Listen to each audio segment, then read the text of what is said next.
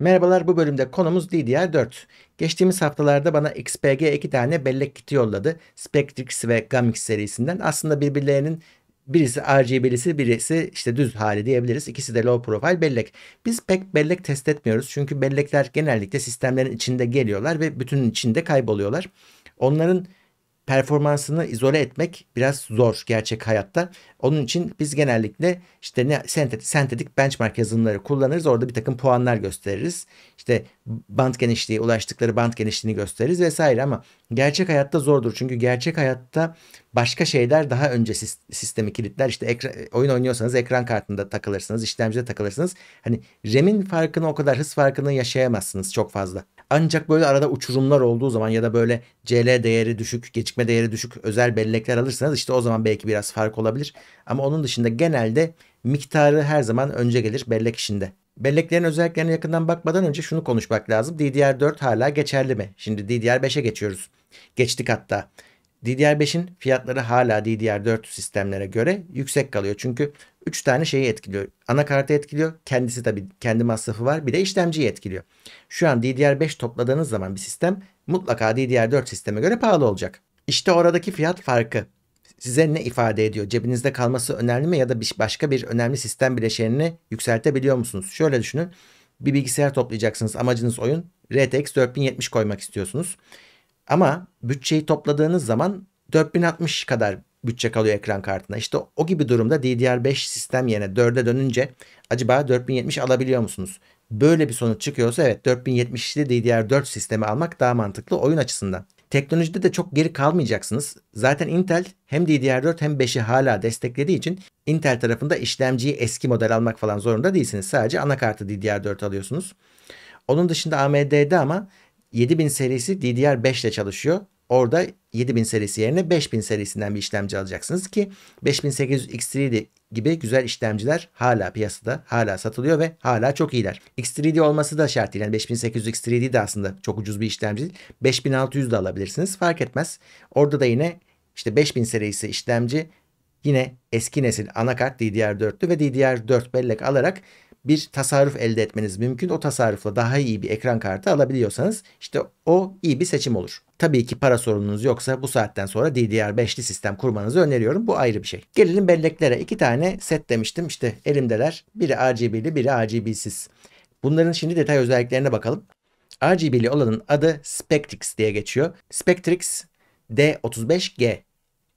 Diğeri Gammix D35. Bakın ama fotoğraftan da görüyorsunuz. Sadece RGB değişiyor. Baktım özelliklerine birebir aynı gözüküyorlar. Tek fark RGB duruyor. Şöyle bakalım hani hızlıca geçelim. Low profile. Şimdi buna birazdan değineceğiz. Önemli. Onun dışında RGB'si bilinen yazılımlarla uyumlu. Ben de MSI'ın Mystic Light ile denedim. Çalışıyor. Bir sorun yok. Eğer RGB bir bilgisayar topluyorsanız bunu tercih etmeniz mantıklı olur. Çünkü orada madem hani göstermeyi seviyorsunuz orada bir karanlık oluşmasın diye RGB'li bellek alabilirsiniz. AMD Ryzen'le uyumlu diyor. Evet 5900X benim test sistemim. Gayet sorunsuz çalıştırabildim. Tabii ki Intel'le de uyumlu. Kapasiteye baktığımız zaman 8 GB'dan 32 GB'a kadar var. Hıza baktığımız zaman 3200 ile 3600 var. Ve gecikme değeri 16 ve 18. Şimdi bunların kombinasyonları var piyasada. Yani işte 3600 oluyor ama CL'si 18 oluyor. 3200 oluyor benim elimdeki gibi. 3200 CL'si 16 oluyor. Böyle bakacaksınız artık modüllere. Gammix'e de gelmişken bakalım. Onda da seçenekler bile aynı. Her şey aynı. Görüyorsunuz. Dediğim gibi bunun RGB'siz olanı gibi düşünebilirsiniz Gammix'i. Teste geçmeden önce şu profil meselesini göstereyim size. Bakın bu HyperX'in benim kullandığım DDR4 4000 modülü. Test sistemimde bu var. Yanda da XPG'nin Gammix modelini görüyorsunuz. RGB'siz olanı. Ne kadar fark var aralarında görüyorsunuz. Yükseklik farkı var. Low profile olunca işte net bir e, yükseklik farkı oluyor. Bakın RGB'li olanı göstereyim şimdi size. Spectrix'i. Onda bile RGB modülüne rağmen daha kısa. Bu ne işe yarayacak? Diyelim ki kule tipi soğutu, soğutucu aldınız ve büyük bir şey aldınız nokta gibi. Onu koyduğunuz zaman ilk slotu genellikle altında kalır soğutucunun. Siz zaten RAM'i ikinci slottan başlarsınız, başlatırsınız eğer iki tane belleğiniz varsa. Ama eğer 4 modül takacaksanız bu sefer ilk slottan da başlamanız gerekiyor. Şimdi günümüzün modern soğutucularında artık onu düşünüyorlar. Soğutucunun oraya denk gelen kısmını biraz kısaltıyorlar. Dolayısıyla boşluk kalıyor. Eğer bu yoksa ama blok halinde geliyorsa bu sefer işte belleğe çarpma riski var. Dolayısıyla uymuyor. İşte low profile olursa oraya uydurabiliyorsunuz. Bu onun çözümü. Sıvı soğutmacılar da kurtulamıyor. Onlarda da şöyle bir sorun var. Kasa eğer birazcık ufak tefekse yukarıya taktığınız sıvı soğutmanın işte tabii ki onun fanları da var. Anakartın üstüne doğru sarktığını göreceksiniz. İşte orada da yine belleklerle temas söz konusu oluyor. Yine düşük profilli bellekler orada da kurtarıcı olabiliyor. Bence hani büyük almak için özel bir sebebiniz yoksa low profile alın bellekleri direkt öyle alın. Testlere geçeceğim şimdi ama çok fazla test yapmıyorum ben bunlara dediğim gibi. Neler var? İşte ayda 64 var. Passmark var. Bir de user benchmark yaptım. Genelde testlerde bunlar kullanılıyor. Peki neyi test ettik? İşte az önce gösterdiğim HyperX DDR4 4000. 4000 MHz'de çalışıyordu sistemimde. Ama CL değeri bunun yüksek. Diğer taraftan bu XPG'ler çalışıyordu. Onlar da DDR4 3200 CL 16 20 20. Bendeki modüller 2 çarpı 16 şeklinde. Bunların test sonuçlarına baktığımızda DDR4 4000'in bazen önde geldiğini bazen ise 3200'ün önde geldiğini göreceksiniz. Çünkü bazı uygulamalar tamamen gecikmeye bakıyor. Ama bazı uygulamalar da miktara bakıyor. Mesela oyunda 2x8 16 GB hala yeterli sistem belli olarak ama Premiere çalıştırıyorsanız, Photoshop çalıştırıyorsanız orada minimum 32 öneririm. 2x16 şeklinde. Orada 16 GB ama süper hızlı bir belleğiniz varsa sorununuzu çözmüyor. Çünkü bunlar yer istiyorlar.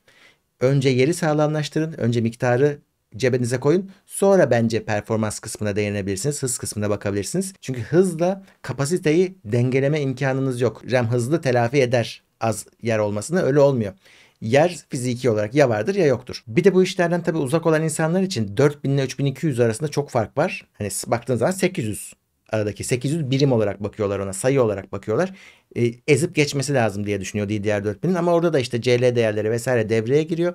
Artı her zaman da öyle olmuyor işte. Uygulamasına göre değişir. DDR4 4000'in geçtiği kısımlar tabii ki olur ama öyle hayalinizdeki gibi büyük farklar olmayabilir gerçek hayatta. Çünkü gerçek hayatta başka şeyler giriyor. İşte işlemci performansı, ekran kartı performansı gibi şeyler giriyor araya. O yüzden o farkı hayat boyu göremeyebilirsiniz. Zaten şu saatten sonra DDR4'ün de böyle çok uçan kaçan bir belleğini almak mantıklı değil. Burada biz tasarruf etmeye çalışıyoruz. O yüzden hani öyle yapacaksınız da DDR5'e geçin daha iyi. DDR4'ün şöyle bir güzelliği daha var. Mesela şimdi bellek alırken diyorum ya size girin sitesine bakın anakartın diye. Bakalım B550 Tomahawk test sisteminde bu var. Bakıyorsunuz işte bir sürü XPG sıralanmış. Ben buraya birazcık adını yazmaya başladım. İşte bunlar hemen sıralandı. 3200'leri görüyorsunuz ama çeşit çeşit bakın burada bile gözüküyor. Mikron'u var, Hynix'i var, Samsung'u var.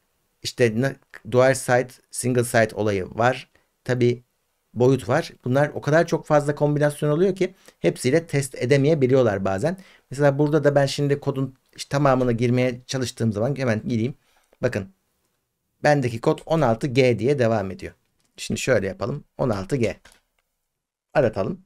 Çıkmadı. Bu bellek test edilmemiş demek ki MSI tarafından ama birçok yakın akrabası test edilmiş sonuçta. Şimdi DDR4 yeterince olgun olduğu için riske girebiliyorsunuz. Ben işte bunların o listede olmamasına rağmen çalıştırdım çalıştı. O yüzden DDR4 birazcık da güvenli bir liman. Orada zaten bunun yakın akrabaları var. Hani bu olmasa bile buna çok yakın bir bellek, bellek modülü orada listelenmiş oluyor. O yüzden DDR4'ün bir de böyle bir güvenli tarafı var. Genellikle yani çok şanssız değilseniz çalışıyor. DDR5'te bu çok daha kritik. DDR5'te onun ismini orada mutlaka görmeniz gerekiyor. Yoksa Intel, AMD fark etmeden başınıza belayı çağırırsınız. Oyun testi yaptığım zaman orada Rainbow Six'i kullanıyorum. Çünkü o saçma sapan yüksek FPS veriyor. Yani ekran kartını aradan çıkarmam kolay oluyor. Böylelikle işlemci ve RAM gibi bileşenler kendini gösterme şansına sahip oluyorlar. Ama orada da göreceksiniz. Evet DDR4 3200 birkaç FPS önde geldi de orada ama bu fark yani böyle hata payı gibi diyebileceğimiz bir fark. E, bence ikisi de aynı sonucu veriyor ekran kartını aradan çıkardığım durumda bile. O yüzden oyun için bence 4000 tarafına gitmenize gerek yok.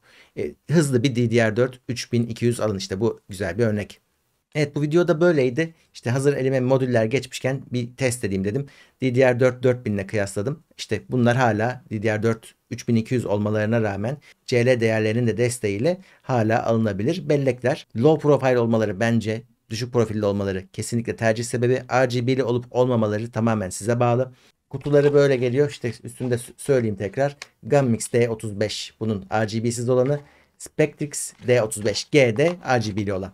Bunların fiyatlarını artık vermiyorum çünkü kendiniz araştırın güncel fiyatlarına bakın. Dediğim gibi maksat ekonomi yapmak. Bunlarla DDR4 anakartla ve işte uygun bir işlemciyle iyi bir ekran kartına bütçe çıkarabiliyorsanız çok fazla tereddüt etmeyin. DDR5'e geçmedim diye de çok fazla üzülmenize gerek yok. Evet gelişmelerden haberdar olmak, videolardan haberdar olmak için beni ücretsiz şekilde aşağıdan takip edebilirsiniz. Kanala mutlaka tıklayın ve eğer ki destek olmak istiyorsanız katıldan katılabilirsiniz. Bir sonraki bölümde görüşmek üzere.